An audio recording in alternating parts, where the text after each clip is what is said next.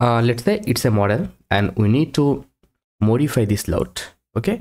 Uh, or uh, assign load sometime it it should be modified. So how i'll do it?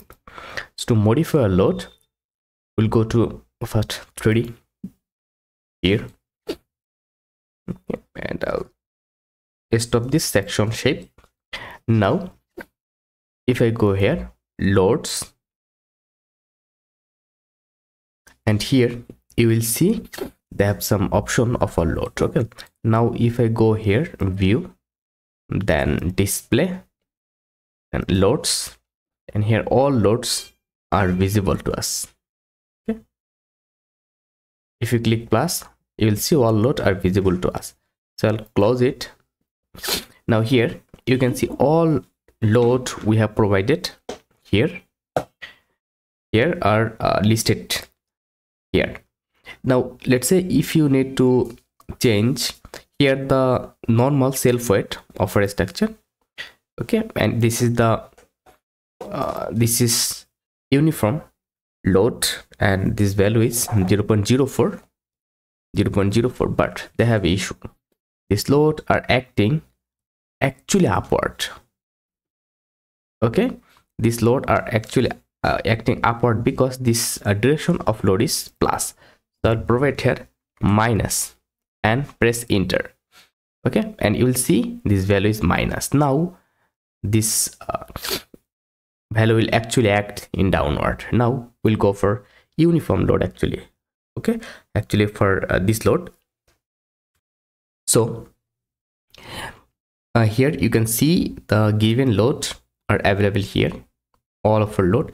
And this is the load 0.5 and let's say you need to change it you need to uh, provide here 0.6 then 0.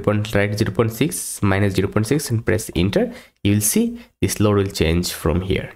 In this way when will when you will mm, define many loads then you will be able to change it. This is for uh, table edition.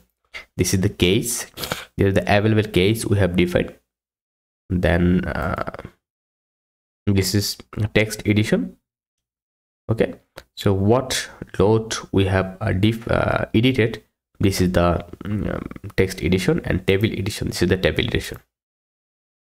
And the value okay for self word. So actually uh, in this way you you can uh, modify or you can change your load if you need. Now sometime we need to remove some load from this structure. So how i'll do it to do it. Go to here from layout go to loads. And here you will see the specific load available here. Now let's say you need to remove this 0.6 kip per feet load from this on site. Then take your mouse here if you see this color have changed then right click and click delete and only for the indicated one. That means the indicated one we have selected that will be deleted. For object from the load list for the object selection so i'll click only i'll it only this one so click ok and you'll see the load from that side have been removed okay? But here it's still available. Here it's still available. Now if you press uh, control z again control z you will see this load is available here. Now how will understand that uh, in which member your load are applying?